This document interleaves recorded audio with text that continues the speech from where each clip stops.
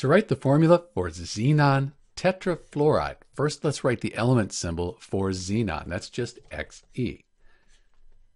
We have this tetrafluoride here. The fluoride, that's from fluorine. So we're going to write F for the fluoride.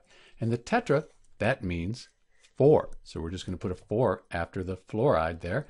And XeF4, that's the formula for xenon tetrafluoride. We know that because we're using these prefixes, this is a molecular compound. So we'll have covalent or molecular bonds between the xenon and the fluorine atoms. It's also kind of strange. We don't expect xenon to form compounds. It's a noble gas. Noble gases in general, they don't form compounds. But this is an actual compound formed between xenon and fluorine gas under fairly extreme conditions. This is Dr. B with the formula for xenon tetrafluoride, XeF4. Thanks for watching.